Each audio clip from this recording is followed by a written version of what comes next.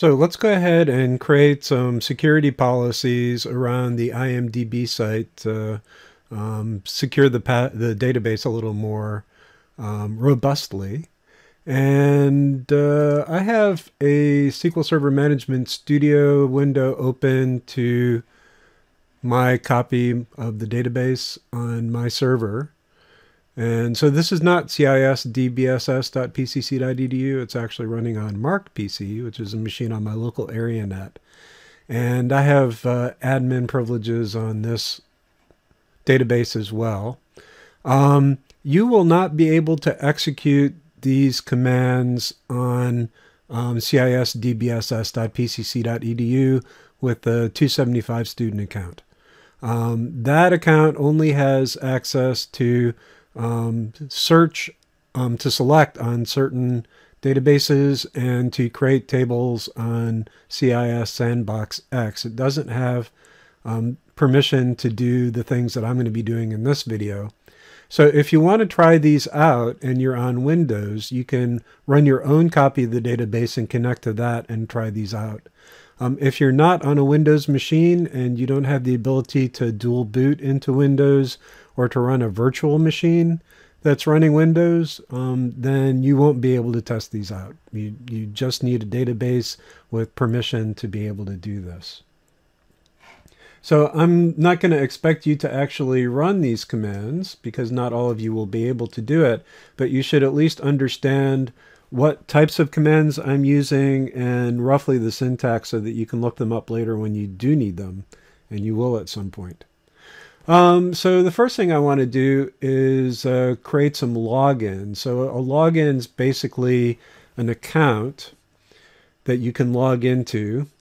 And uh, I want to make a clear distinction between the accounts on the IMDB website. So I'm going to execute my select statement. Actually, I have a copy of it right here, so I'm just going to copy it. So here's the thing that shows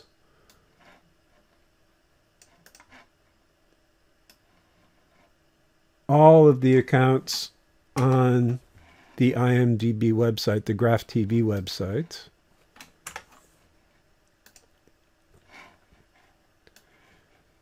So here they are. So here are a bunch of accounts on the IMDB website.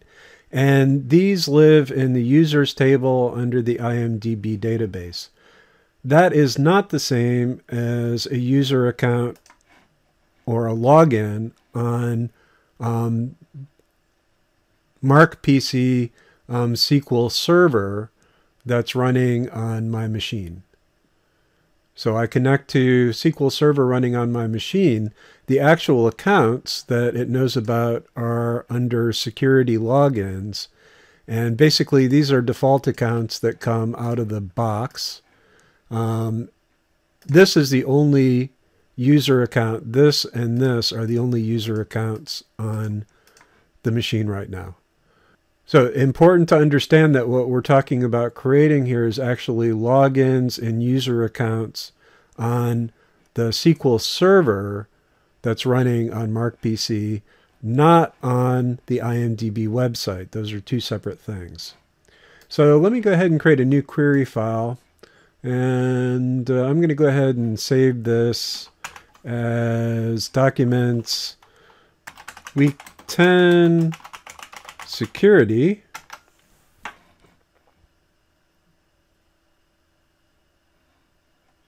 And then the first thing I'm going to do is create a login. And uh, it doesn't really matter what database I'm using when I do that. But uh, the command to create a login is create login. And then I give it the login name.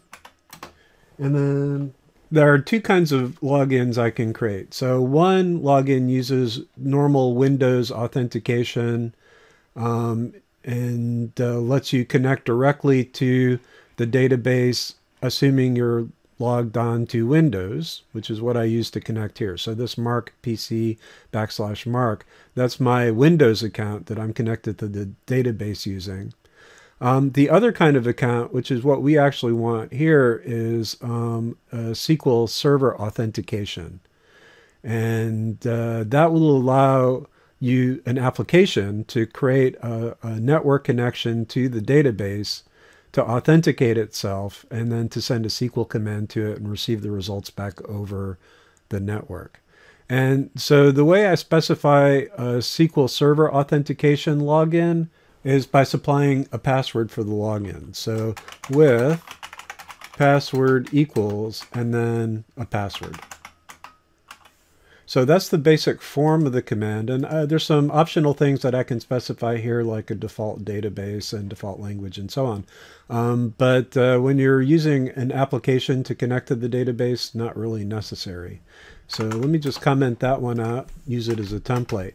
So what do I need for logins and accounts? So I basically have three different security levels identified from what I was talking about before. Um, I have the search functionality where I'm retrieving a list of movies that match keyword search. And then on the login page, I have um, login functionality where I'm looking for an existing user in the users table, but I don't need to update or, add, or, or insert. And then registering an account where I insert a new row into the users table. So those are the three basic types of functionality. And later on, when I get to that part, I'm going to create roles to manage those privileges. Oops, that was wrong database. But for now, I'm just creating login. So I'm going to create three accounts, create login, and so this will be the uh, um, user reader. So IMDB user reader with password equal. And then unfortunately I have to specify this in clear text. So IMDB user reader. Now this is not great, but since uh, my database server is behind a firewall and you can't connect to the database server directly, it's probably relatively safe. Um, and then create login, IMDB, user, insert with password, IMDB user insert.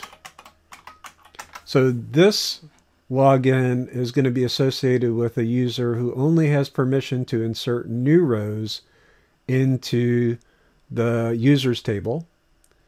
This, this one is only going to be able to select on the users table. This one's only going to be able to insert on the users table. And then create login IMDB search user with password IMDB search user.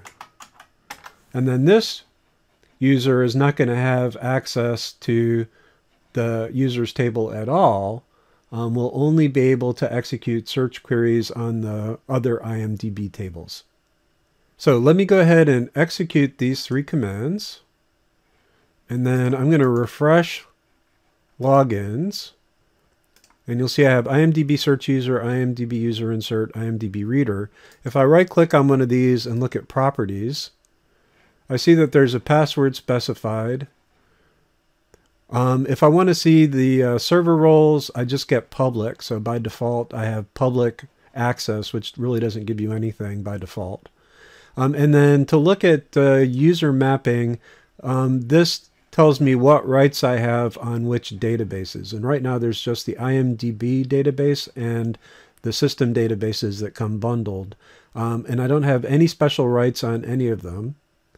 So I could check off the database and then I can add which roles I want to let the user have on this database and I can set separate role memberships for different databases. And then in securables, you have a whole long list of uh, different permissions that you can grant. If you look under the effective tab, this shows what rights um, IMDb search user currently has, which is just connect, connect to SQL and can view any database.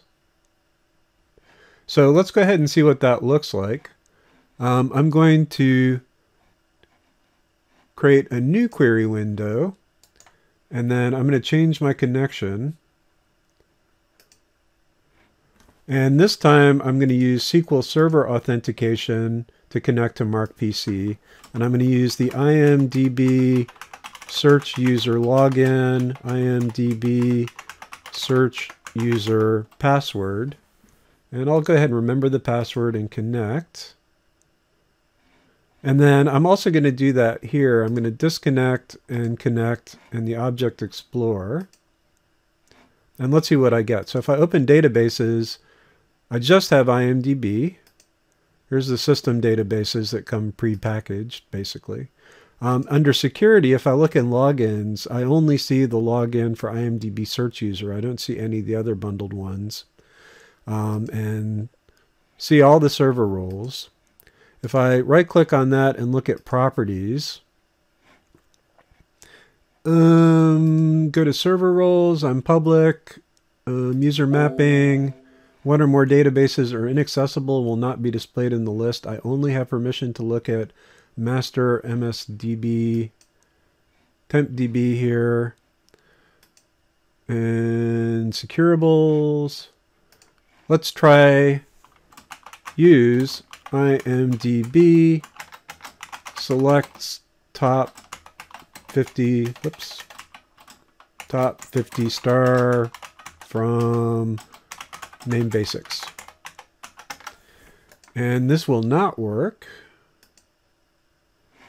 Server principal IMDB search user is not able to access database IMDB under the current security context.